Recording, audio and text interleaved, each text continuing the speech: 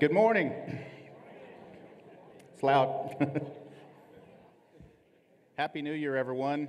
Um, I can't think of a better way to bring in the new year than to be here uh, to worship our God.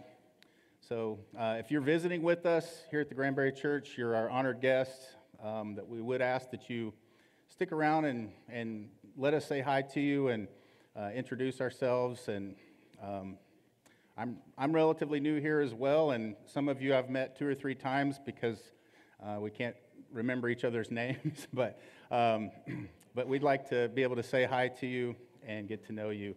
Um, as I already mentioned, Happy New Year, everyone.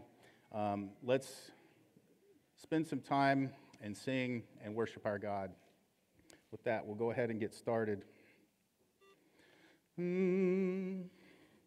Lord, we come before thee now. At thy feet we humbly bow.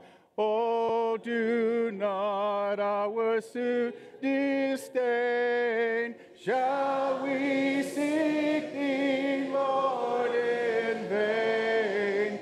Shall we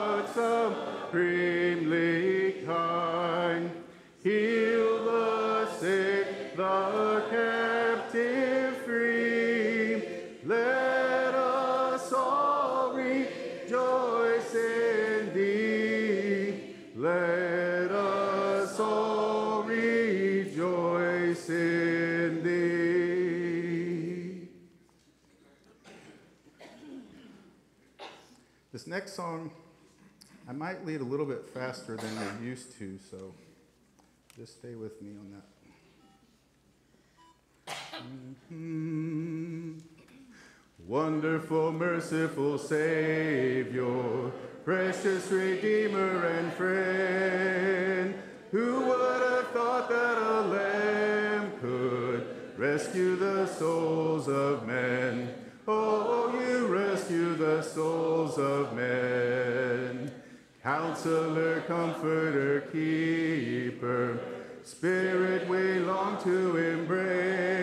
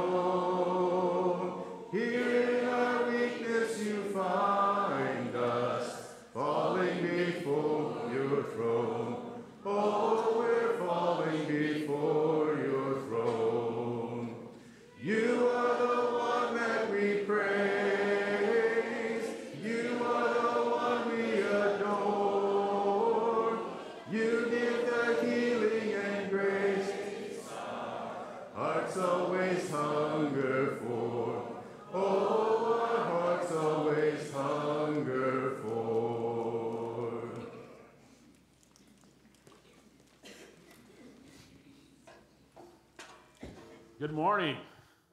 Welcome to everybody this morning. And we just want to convey to you that your presence is valued. It, it could be your first Sunday here. So if it's your first Sunday here, your presence is valued. And if you have been here since uh, long before Methuselah, then your presence is valued uh, as well. We're really glad that you are a part of our service. So if you'd be willing to, to fill out your registration card, it's actually attached to the printed handout that you had uh, when you came in this morning. And there's one side for members and another side for guests. You just complete it and leave it there in the chair this morning.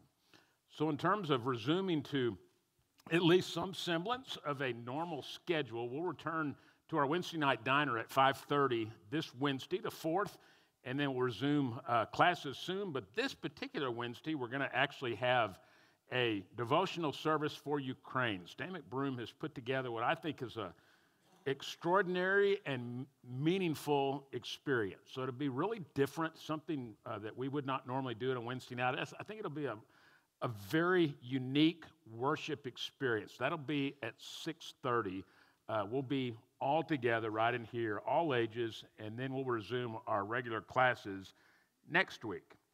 You may want to go on ahead and get your communion supplies. They should be right there in the chair in front of you. Then we have some receptacles there as you exit this morning if you want to place your contribution there. And of course, we have online giving as well. I want to make you aware we have a new Wi Fi system, and there in your printed handout as well has the name of the Wi Fi system. The actual name of the system is GCOC. And then the password for everybody is GCOC 1905. So if you happen to forget that, just remember that the church is at 1905 West Pearl Street. So GCOC 1905 is the password. So you may want to go on and pause now. It would probably be a good time to go on and connect your phone, your other device, if you have an iPad or whatever that you're using this morning. We've done some work on our Wi Fi system, hopefully to enhance service. And so if you want to go on and do that now, I'm sure it would be very, very helpful. We are going to participate in the community food pantry. That's going to be this Friday, the 6th, starting at 8 o'clock at First United Methodist Church. This is an event that we host twice a year, once in the summer and once in the winter. And if you are willing to volunteer, probably could be a chilly morning. I think it'd be a great experience. Contact John Eccles sometime before Friday, and I know that uh, your help and assistance would be genuinely appreciated. Well, I tend to say the same thing on the first Sunday of a new year, and I think it probably needs to be said this morning. The party is over. Are y'all aware of that? The party is over. It is time to resume more of a, a normal routine, but what I'm super excited about is preaching through the Gospel of John. I cannot think of anything more exciting. So, perhaps the most familiar text in John, I would even go as far to say one of the most familiar passages in Scripture. John 3:16. For God so loved the world that he gave his one and only Son, that whoever believes in him shall not perish, but have eternal life. There's a lot more in that chapter. There's so much that surrounds that one verse, so much that is said before, and so much that is said afterward as well. But for our purposes this morning, just the very idea, the concept of belief and that's really what I'm going to underscore during the course of this entire sermon series, focusing on the Gospel of John. Who have you come to believe in? As I mentioned some weeks ago, I just posed a question. If we were to go around the room this morning and say, Do you believe in Jesus? And even more fundamentally, do you believe that Jesus is the Son of God? I think down to a person, everybody would say, Well, of course I do. But the intent in John, John's intent in writing his gospel was to help people that he was addressing come to a, a genuine belief in Jesus, but the depth of belief, the depth of our understanding of the very character of Jesus. Okay, you believe in him, but are, there are some specific things do you believe? So I'm going to ask two key questions almost every single week this is going to be repeated, but I think they're important. The first one is Do you believe? Fill in the blank. For example, do you believe that Jesus was raised on the third day? Do you believe in the bodily resurrection of Jesus? So, various truths that we're going to be exposed to in the Gospel of John. Just as pause on that particular passage and say, Do you believe this? Do you really believe this? And then the second follow up question will be well, if that's the case, then how does that truth impact your faith? Every week, every passage that we look at and spend time with in John, do you, do you believe this? And if you do, how does that impact your faith? How does that shape the depth of belief that you have in Him? So, this morning, as we begin a, what I'm going to refer to as a complementary passage, Hebrews chapter 1, verses 1 through 3. It's, it's a great passage for the first Sunday of a year. So, as he begins Hebrews, the writer says, In the past, God spoke to our ancestors through the prophets at many times and in various ways. But in these last days, he has spoken to us by his Son, whom he appointed heir of all things, and through whom he also made the universe. And then he goes on to say, The Son is the radiance of God's glory and the exact representation of his being, sustaining all things by his powerful word. So the universe was made through him. He is the exact representation of his being, the exact representation of God. So when we see Jesus, we have this, this concept in the most personal, intimate way possible of who God really is.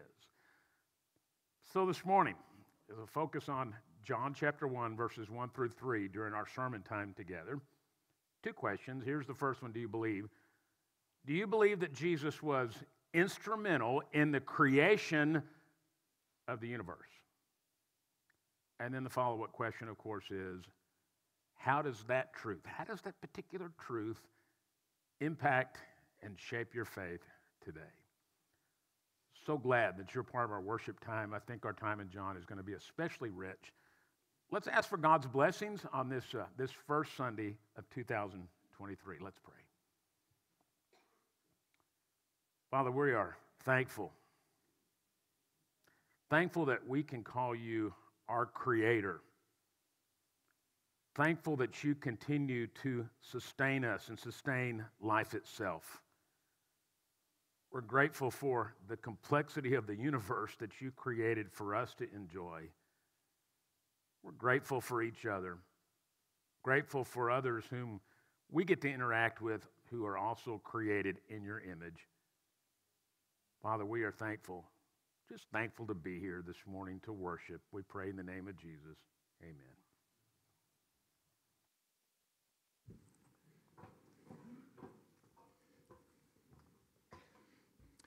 If you would please uh, stand for this next medley of three songs. Um, one thing that I would point out that might be helpful is as we transition into the next song, um, you'll notice at the top right um, a red asterisk on that slide. So it kind of gives you a cue that we're about to change to a new, a different song.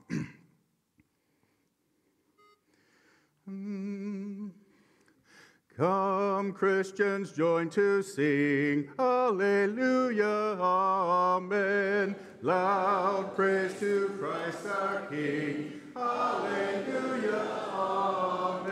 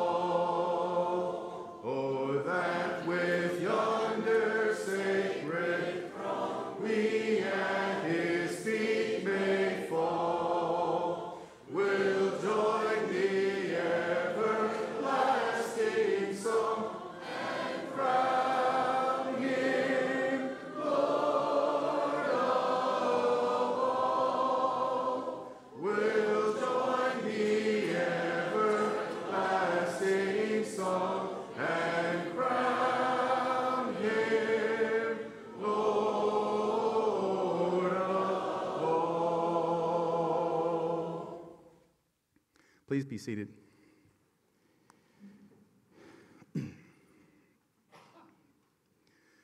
As we reflect on the cross and as we are about to partake of the Lord's Supper, um, I couldn't think of a better song than just to sing to Christ that we adore him.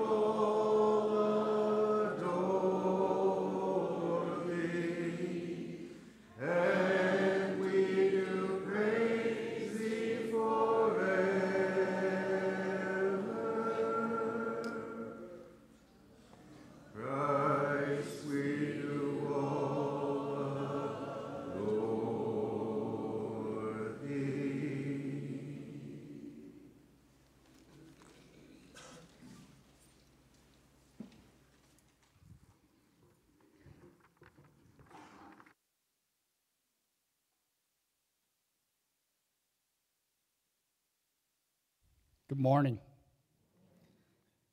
Welcome to the first day of the new year. If you're like me, when I was younger, I always wanted to make New Year's resolutions for whatever reason there was. And seldom did I ever fulfill most of those resolutions. But in Lamentations 2, God renews our, his mercy to us each and every morning. That is the resolution he gives to us. We're going to read in Philippians 2 in a minute about Christ's humility in giving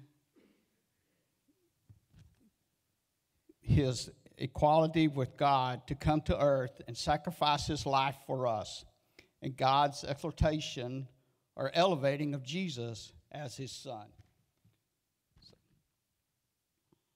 Philippians 2, verse 5 through 8. In our relationship with one another, have the same mindset as Christ Jesus, who bringing being in the very nature, God did not consider equality with did not consider equality with God something to be used to his own advantage.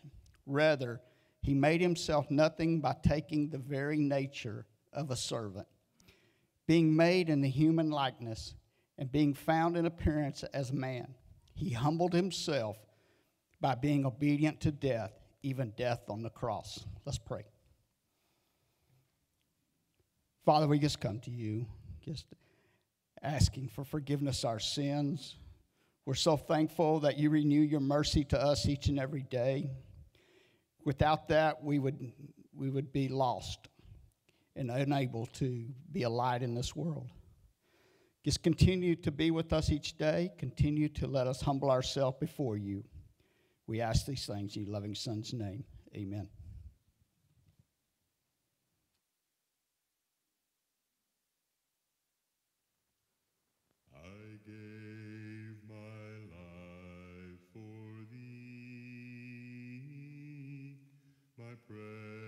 precious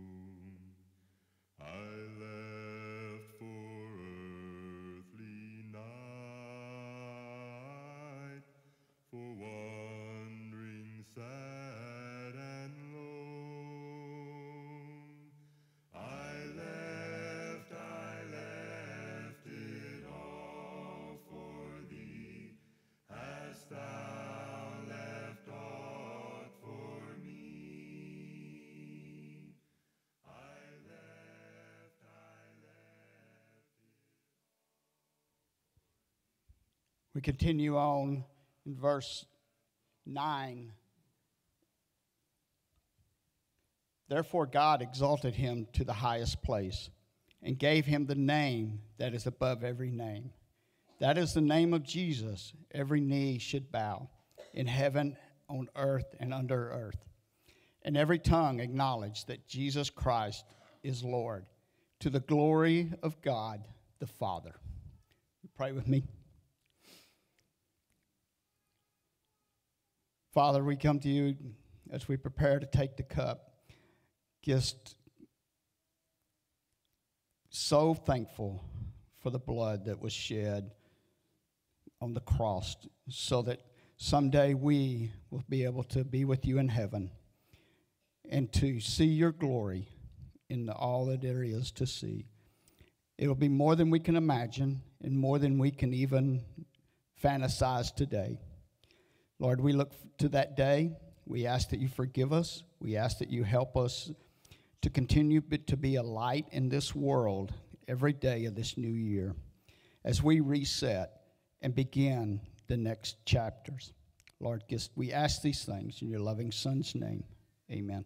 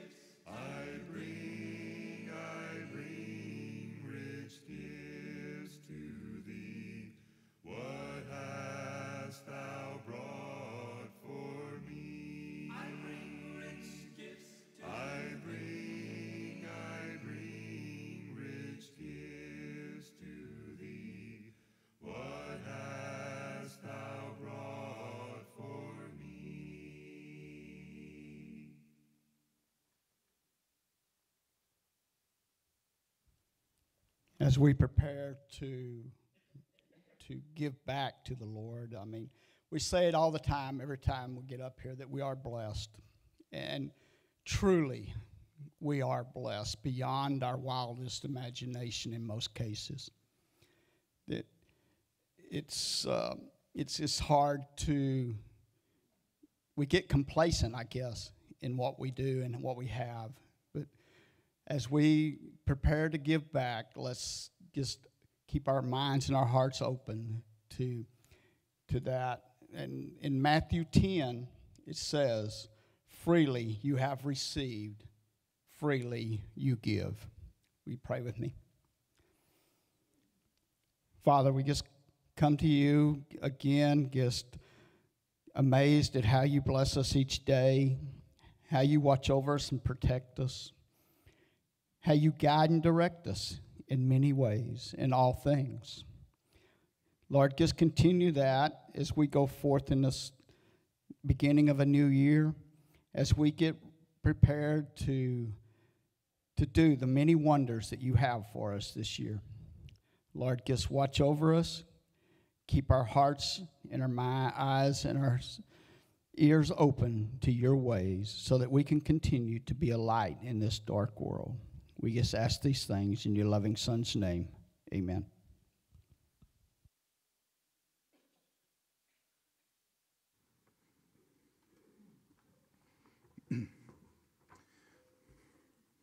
This next song is uh, energetic, high energy, and it's it's about walking together. So it's kind of hard to do that sitting down. I, I, apologize. We were just I had you stand a minute ago, but let's go ahead and stand. Um, as we sing on and on, we walk together. Mm-hmm. My Savior daily walks with me. I trust, trust His love in all that's best. His hand I see,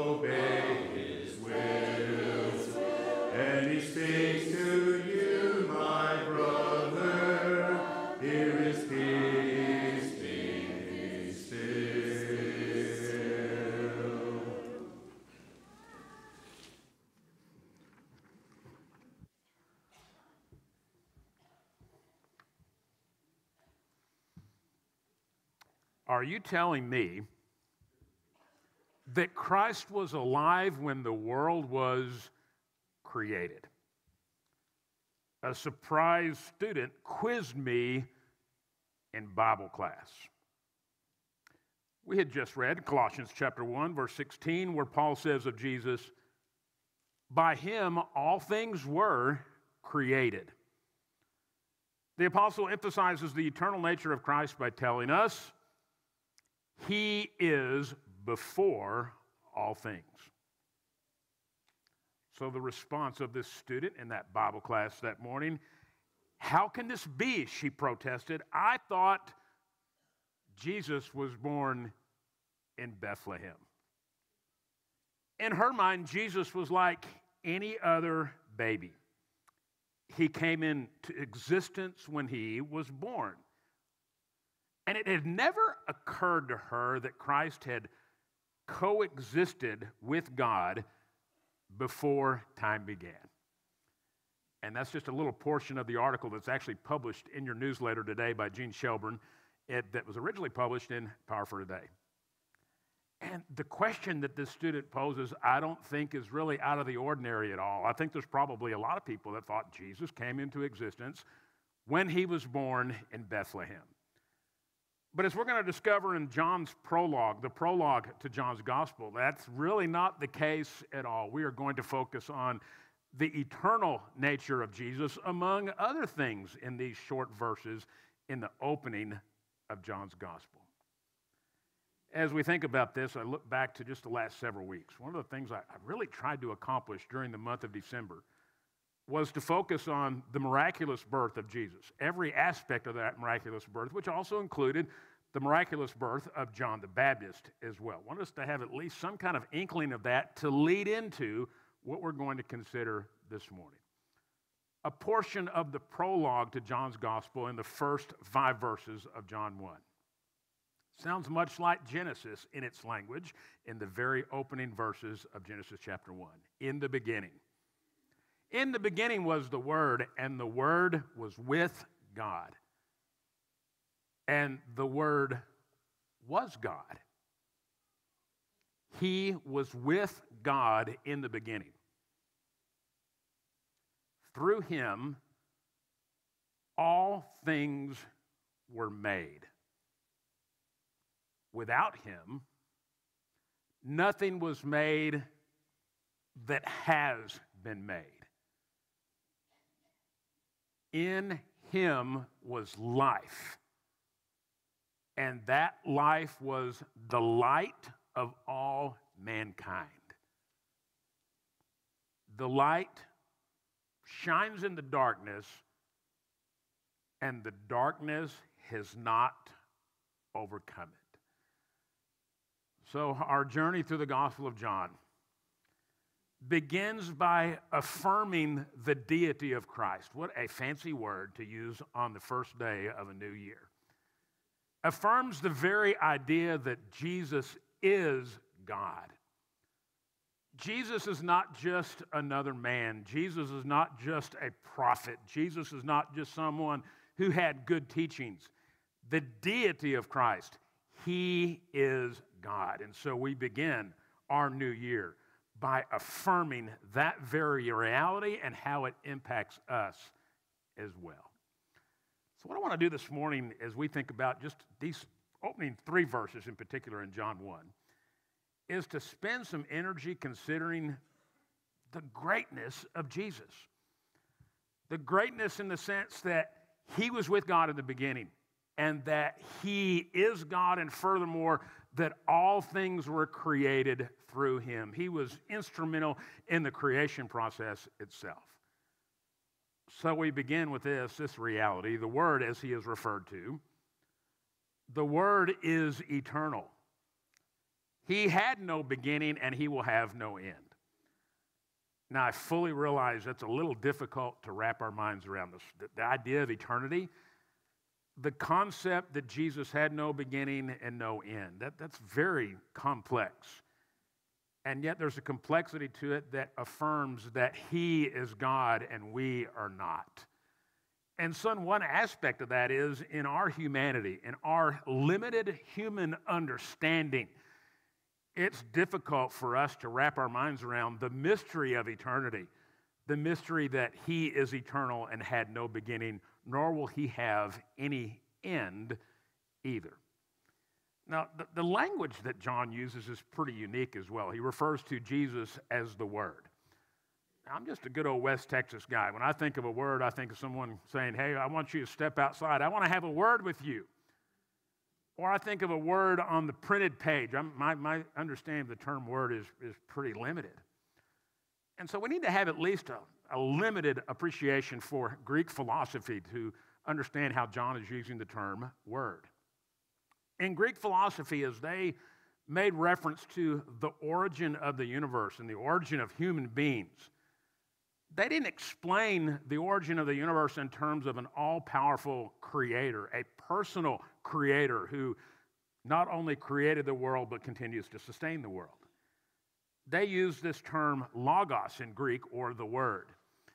And it's this inanimate concept, if you will, that they attributed to the creation of the universe. Sound a little crazy? If it does, it is a little crazy. So, what John does, he, he uses language that, that they would appreciate he, he uses a reference from their own culture to refer to Jesus. So this, this thing that you call the Word, was actually, it's very personal. The Word is Jesus. And by the way, his, he is eternal. So again, sounds a lot like Genesis. In the beginning was the Word, and the Word was with God, and the Word was God. So, as one writer says, before any conceivable point in the eternal past, the Word was already existing. The Word, therefore, has no beginning. The Word has always existed. Jesus has always existed. He did not have his ultimate origin at the time of birth in Bethlehem. Now, here's a, a second aspect of the greatness of Jesus He is eternally in relationship. That there is this very intimate relationship between God the Father and God the Son that, again, it's very difficult for us to wrap our minds around. So, in the beginning was the Word, and the Word was with God. So, there has always existed the deepest equality and intimacy in the Holy Trinity. Again, that's hard for us to imagine a, a, closeness that's well beyond the scope of any closeness that we have ever experienced in our life. There is a true oneness that exists and an equality as well. David read this text during our communion time. And I want us to pause again and read this section in Philippians that was likely part of an old ancient hymn. It's sometimes referred to as the Christ hymn, Philippians 2 5 through 8. And let's just pause for a moment. And if I can, re engage your attention. Pause and take a deep breath and in the most reverent, worshipful way. Just hear this passage, maybe read along, and think of its impact in your life, in your relationships with one another. Have the same mindset as that of Christ Jesus, who, being in very nature God,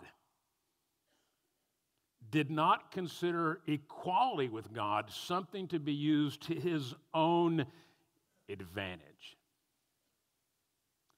Rather, he made himself nothing, taking the very nature of a servant, being made in human likeness, and being found in appearance as a man. He humbled himself by becoming obedient to death, even death on a cross.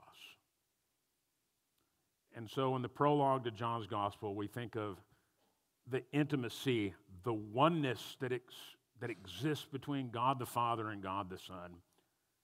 And Paul takes that concept of that oneness and that equality and develops it into this beautiful poetic piece here that we know as Philippians 2 5 through 8. Well, not only as we think about the intimacy that existed between God the Father and God the Son, and that He was eternal, but He is eternally God. Jesus is deity. John 1. In the beginning was the Word, the Word was with God, and the Word was God. And I think in just a, a preliminary understanding of Scripture, I can remember being a new Christian and reading this and thinking, I think I'm just a little bit confused the Word was God. Who is the Word? And coming to an understanding, Jesus is God.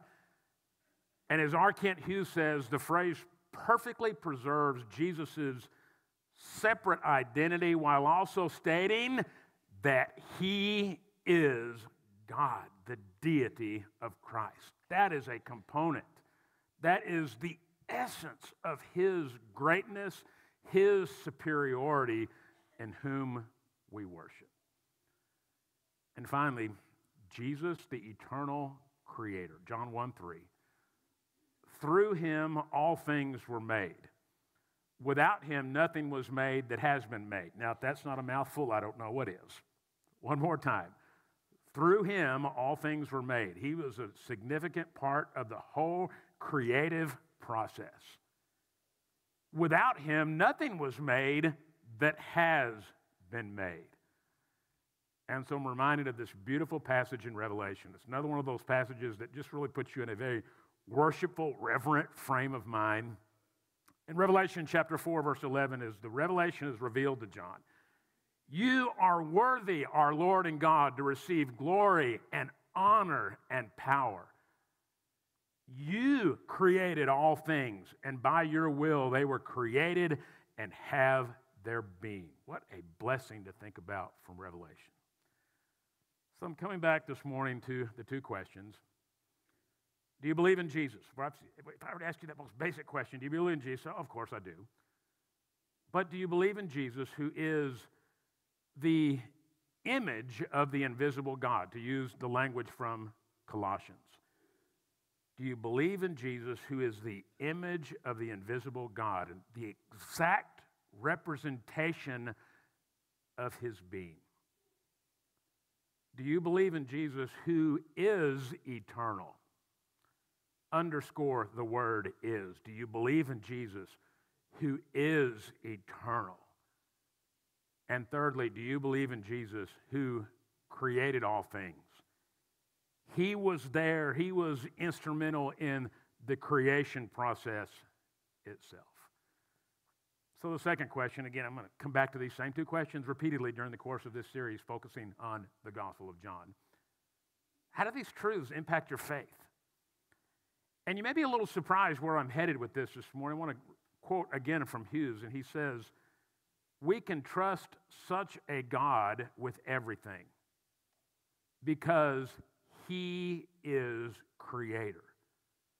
And he knows just what his creation, his people need. And I'm not sure I've ever reflected on John 1 in, in that particular posture before. I've always appreciated, okay, the, the, eternal nature of Jesus. He is God and he was instrumental in creation, but what are the implications of it? I don't think I've ever really paused to stop and think, what are the implications of these truths, of these realities?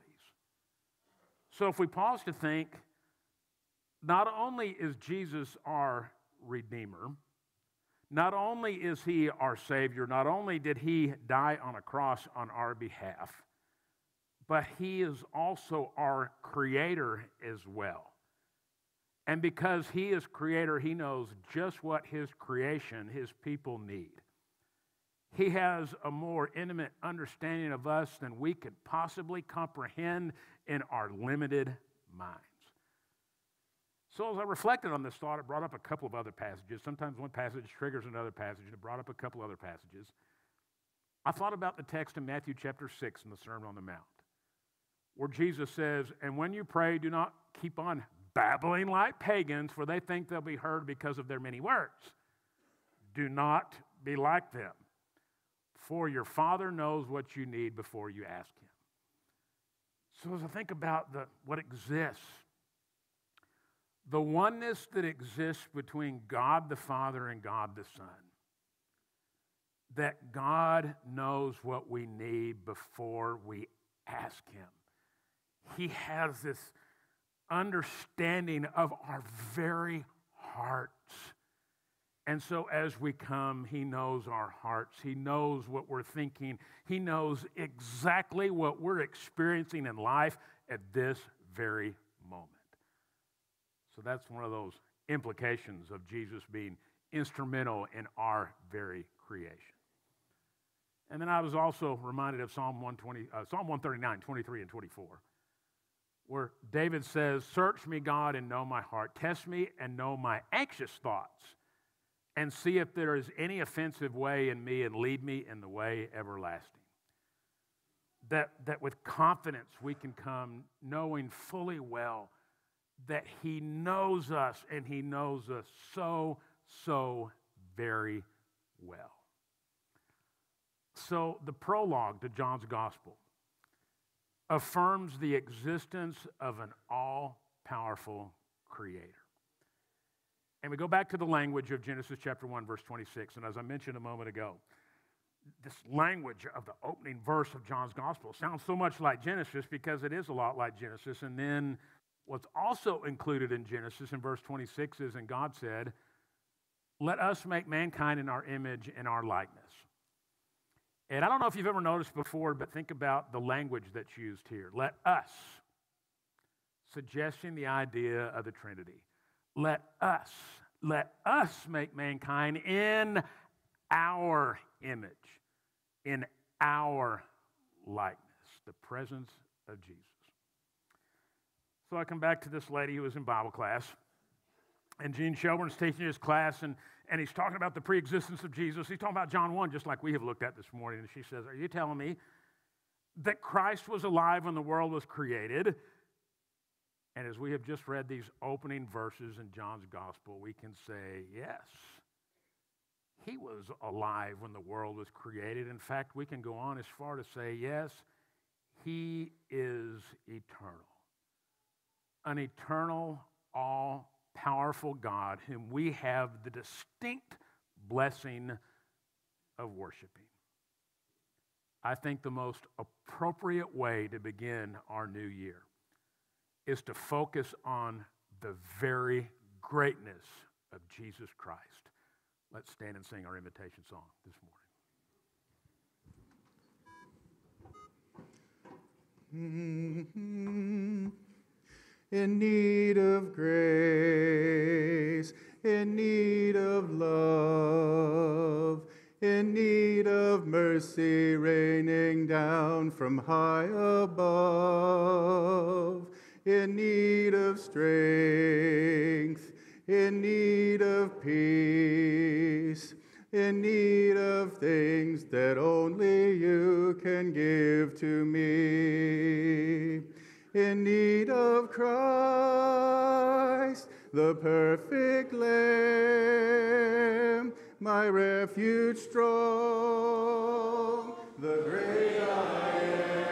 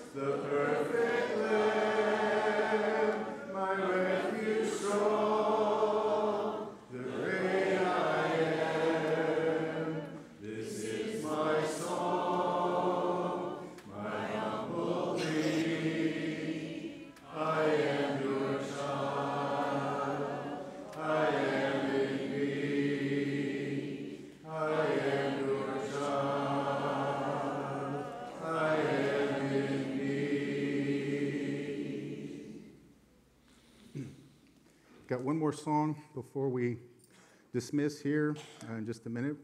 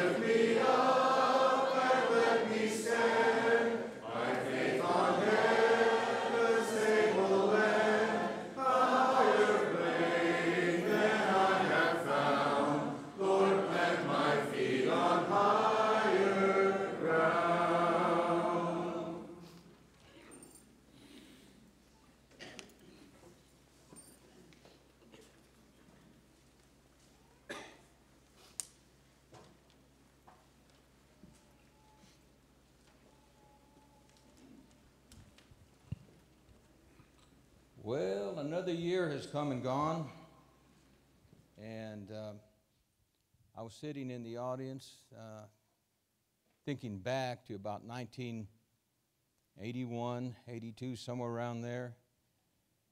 And if it wasn't for a person sitting in the auditorium this morning, I wouldn't be here. He opened his home, him and his wife opened their home to me and shared the gospel with me. Before that, about, I was about as wild and crazy as I was like John, only worse. Okay? but the message is Jesus saves and changes lives. We're building a new auditorium over here. It's not for you. It's all for all of those out there that need Christ in their lives, that need a change in their lives. Jesus saves. We want to thank you for being here this morning. Uh, the church assembles not only in this building, but throughout the world. We all are gathered in His name, and our hope is in His name. And we hold the higher ground because our home is in heaven. Let us pray. Heavenly Father, we are thankful, Lord, for this day that you have blessed us with. We're thankful, Lord, for this last year that you have given us in our lives. So many changes, so many events took place, good ones, bad ones, but we got through it all. We begin a new year, Lord, with hope in our hearts, knowing that we can look to you and find peace and be still in our hearts in the name of your Son. We ask a blessing on those that are gathered all throughout the world and this morning, throughout this day.